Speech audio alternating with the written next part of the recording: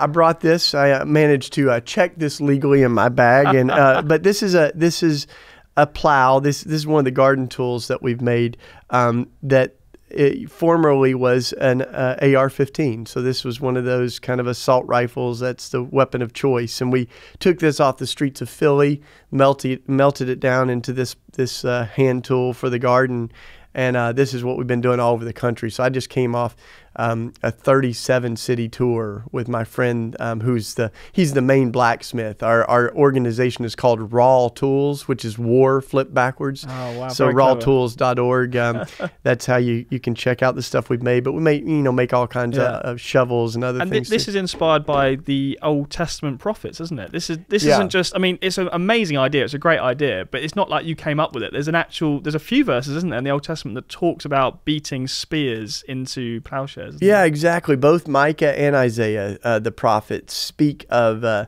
uh, God's people beating their swords into plows, their spears into pruning hooks, and then there's a number of other beautiful images of kind of the the the world that God uh, you know dreams of for us and prophesies through the prophets. But and it ends by saying, "Nation will not rise up against nation. People will learn violence no more. They'll study war no more.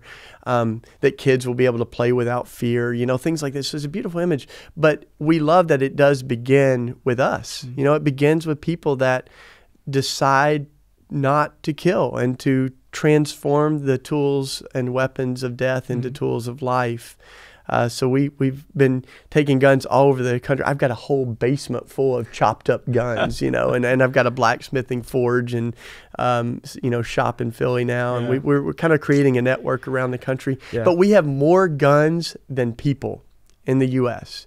We've got five percent of the gl- the global population in the U.S., but almost half of the world's guns, Yeah. and we're producing the world's guns in the U.S. We have um, right now we're producing nine and a half million guns a year. That's one gun every three seconds. Wow.